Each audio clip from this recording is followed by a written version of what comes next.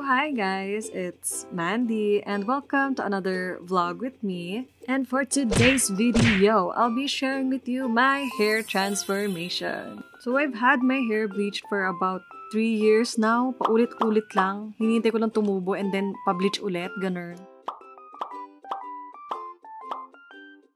It just really felt like it was time for me to transition into more dark hair. To the salon! Before, the before, the before siya. Ayan na. Ito lang yung matitira na, ano, naka-bleach. Tapos yung taas. Black no. Black, no? Patingin na mata. Ayun! Ay, ay, pati hindi ng contacts.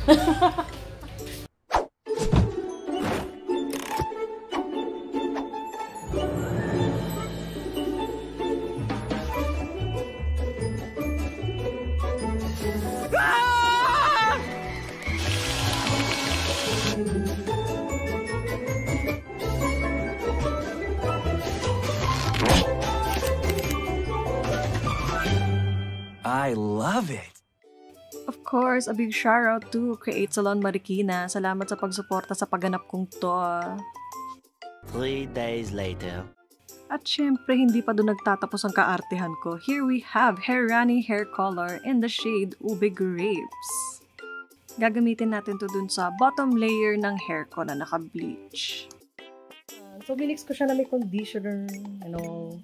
Pero let's see kung ganyan nga ba katingkad lalabas. Medyo diluted pa kasi nga, ito, very dark kasi and I don't wanna get my hair too dark. Kaya ayan, yun yung itsura niya pag medyo diluted. So, let's see.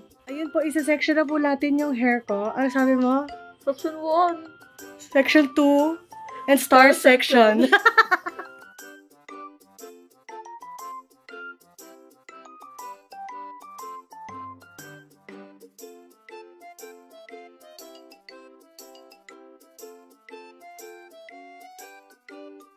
Ayan na, magbabalnaw na po tayo mga kaibigan. Ganyan kaya yung kulay na lalabas o mas dark. I'm not sure. Hopefully, hindi naman ganun ka-dark. Mm. A few moments later.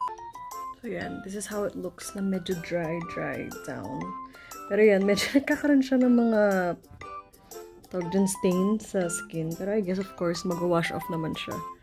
Pero yan, that's how it looks now. Super purple, as in ube grape talaga, like legit. Sobrang, wow. I like it against the dark hair.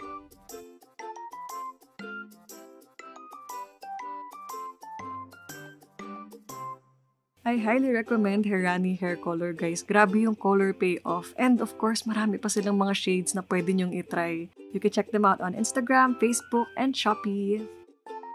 So that's it for today's video, guys. I hope na-enjoy niyo hair transformation vlog na to even though medyo short but sweet siya.